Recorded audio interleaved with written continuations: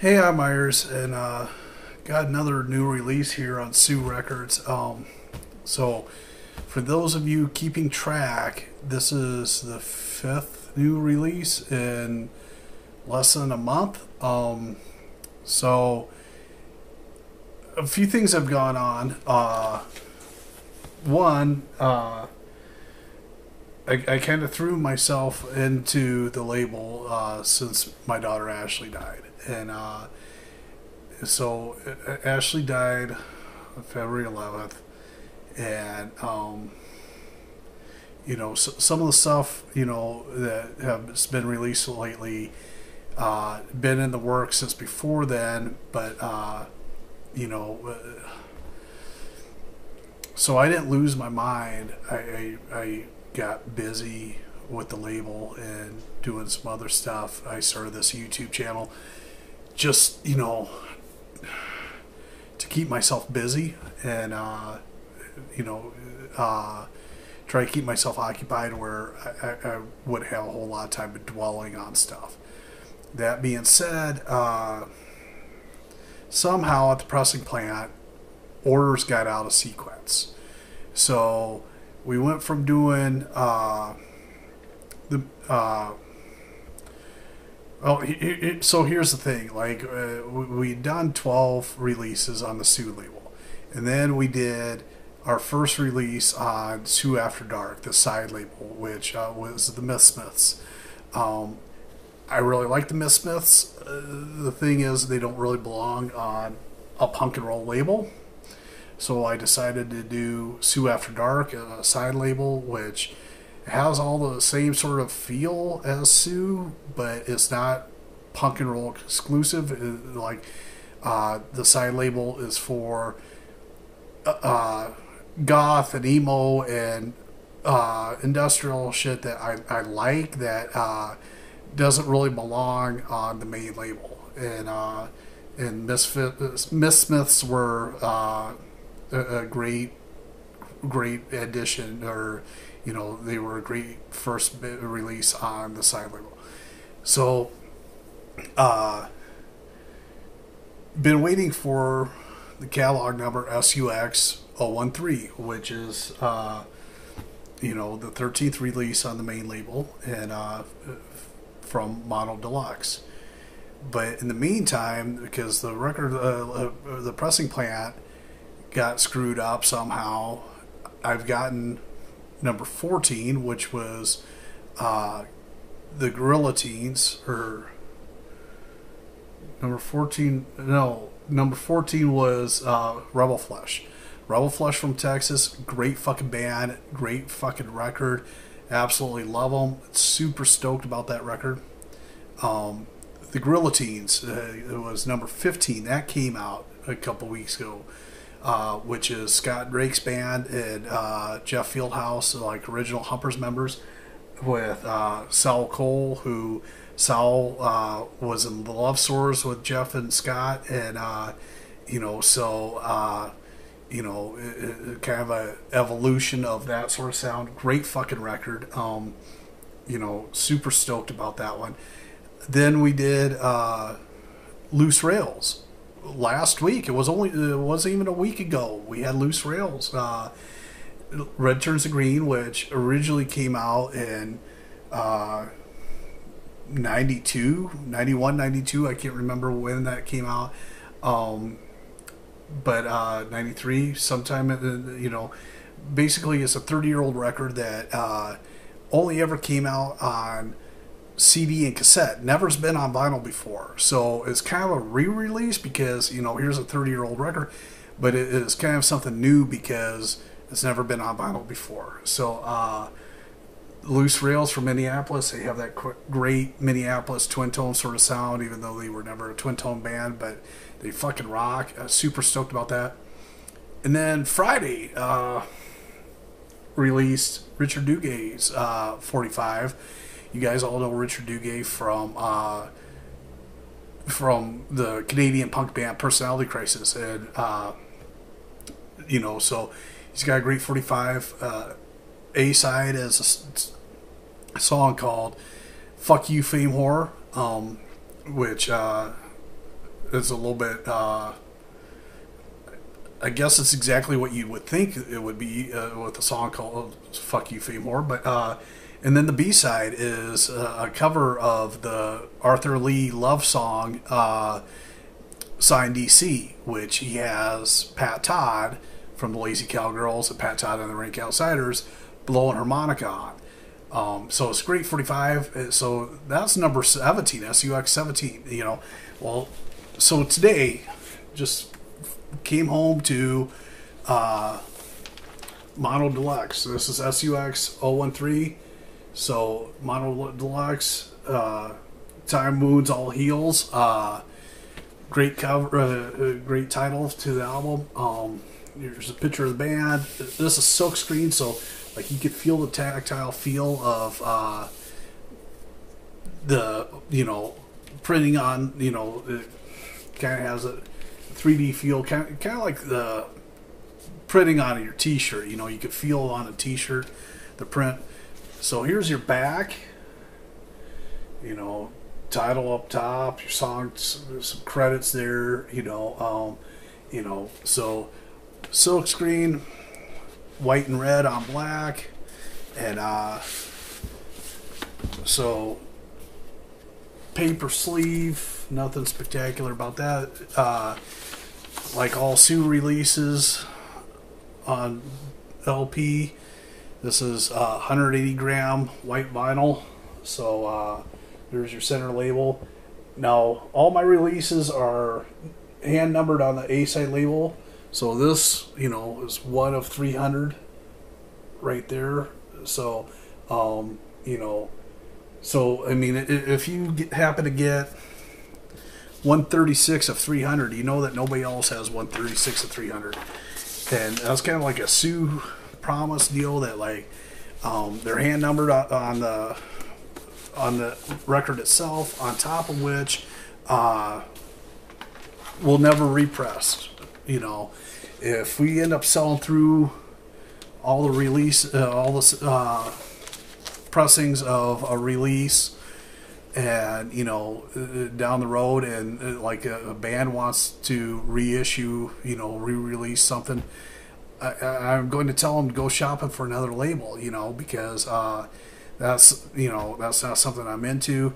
You know, it's kind of hard when I straight up on the center label have blank of 300 and now all of a sudden I'm repressing it and it's not one of 300 it's one of 600 one of you know a thousand whatever you know somebody represses or whatever I'm not going to do that you know so um, there's only ever going to be 300 of these MonoDeluxes on Sioux that's not to say that down the road you know the band sells through and you know um, people are wanting this or whatever, and you know, uh, Ho and the guys uh, decide to you know pursue another label, and you know somebody else picks it up. You know, uh, you know that that's very likely. You know, but uh, Sioux will not repress it. So. Um, you know, and, and, that's happened to a lot of you know, my favorites. You know, I, I, mean, like the Zero Boys uh, album. Uh, you know, it was on Toxic Shock, and then uh, Dan Panic from Screeching Weasel. He had Panic Button Records that re-released it, and then it was out on, you know, um, the Zero Boys been on about four or five different labels with one record, you know. So um, that stuff happens, you know. But uh, Sioux isn't really into repressing anything. So that being said, um, I want to talk about this you know, I showed you what it looks like, showed you the art, showed you the record. Uh, you know, um, these guys, um, SoCal band, they fucking rock. Uh, I, I, don't know what to say about them. They, they uh, kind of more on the harder edge of punk and roll. You know, like okay, so my label Sioux, we do punk and roll records, and you know way I explain that to laymen who don't know what punk and roll is is imagine punk rock guys grew up listening to Kiss, ACDC, Thin Lizzy, Cheap Trick, bands like that, T Rex, uh, maybe get into some more of the glam bands like the Sweet or something like that. But uh, you know, th- these same guys, maybe, maybe a punk and roll guy grew up listening uh, Kiss and ACDC, also listened Sabbath, Deep Purple, and some of the heavier bands. And, you know, so there is a contingent of heavier punk and roll, and, and that's where MonoDelux is. Uh, These guys are on that heavier edge of uh, you know punk and roll, which um, I dig it. You know, I, I mean, I, I dig the genre of punk and roll. Period. You know, so if you're more of a glam band, you know, um, or if you're more of you know. Uh, like a pop sort of cheap trick sounding thing, you know. I, I mean, we just put out a couple pop sounding uh, records in, in Rebel Flesh and Loose Rails, you know, um, you know, but uh, you know, like on the Loose Rails record, there's a cover of the Angels. Uh, I ever see your face again? And uh, you know, which is a great fucking song. Um, you know, definitely pop influence, but uh, you know, this is something different. This is harder. This is you know, you know, you could hear that.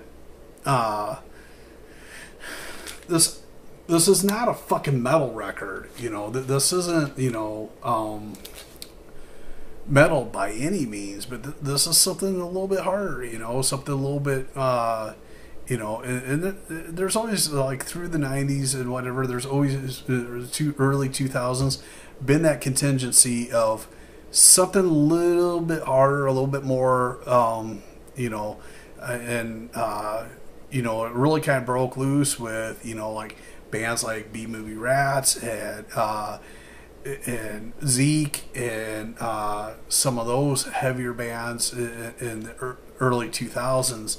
You know, this kind of is a continuation of, like I say, it's not metal, but you know, th- these guys are these guys are kind of pushing that heavier. You know, like like I say, imagine if punk and rolls punk rock guys grew up listening to Kiss and ACDC. These are guys who grew up listening to Sabbath, Deep Purple, and uh, Nazareth. Some of them heavier bands, you know, uh, a little bit heavier than the Cheap Tricks and the T Rexes and the uh, Sweets uh, out there, you know. So um, I dig it. Um, what I'm going to play you is uh, instrumental. It's the first song off the record. It's called Overture Deluxe, which is the first song off A side. Um, it is an instrumental. Now, most of the songs do have uh, lyrics to them. You know, um, they're great.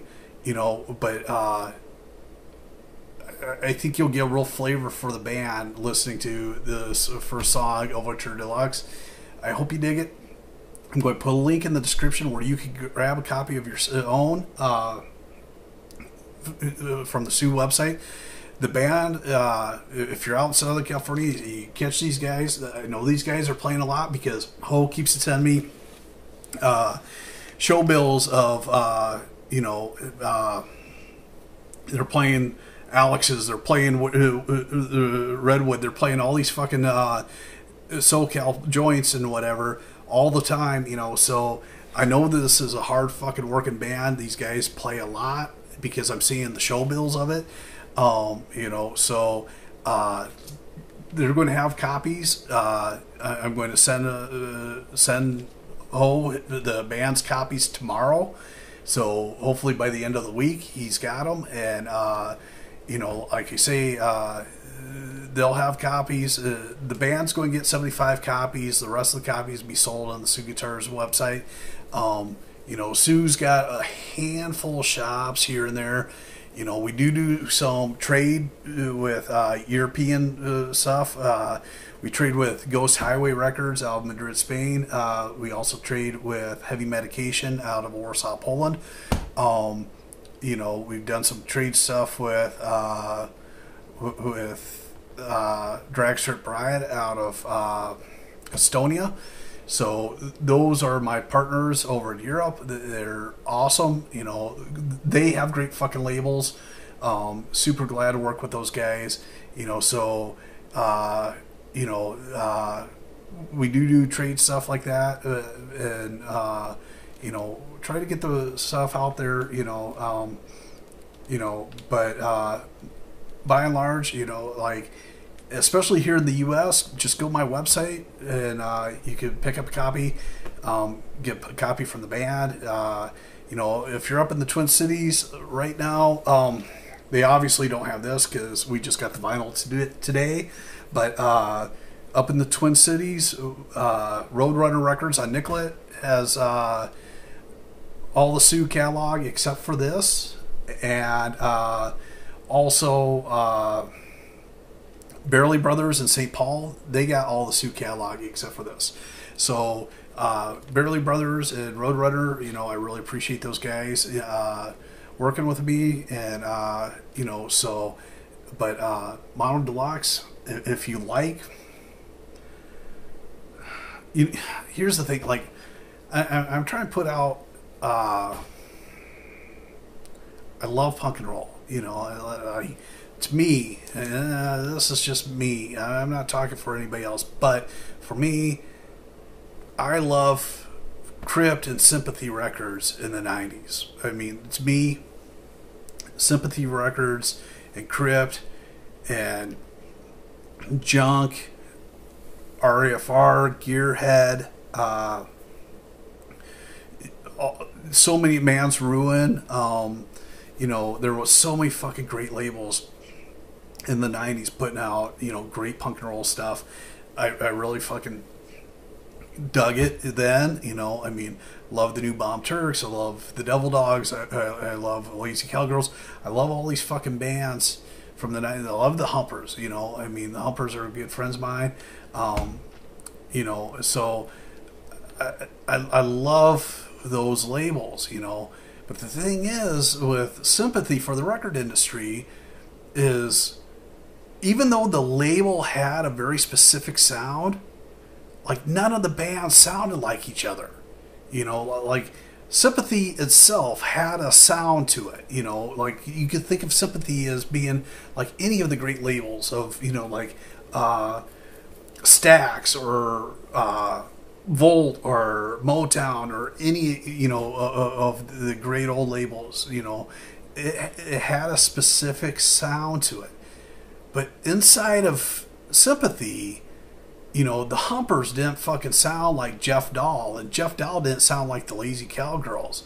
And, you know, there was a, a, a breadth, uh, an expansiveness of great fucking records of uh, amazing acts that, you know, that's what I'm trying to achieve here is, you know, there's a lot of fucking great bands, and, you know, the Y'all don't sound like Richard Bacchus, and, uh, he definitely doesn't sound like MonoDelux, and uh, you know, so um, you know, I, I, appreciate everybody's interest in the label. I, I appreciate, you know, um, hey, honestly, guys, I appreciate all the outpouring of support since Ashley died. It's been it's been a, a, a it's been a fucked up thing since uh, since Ashley died. So uh, you know. Um, I, re- I really appreciate um, the interest in the label and you know how great everybody's been to work with. Um, you know, super stoked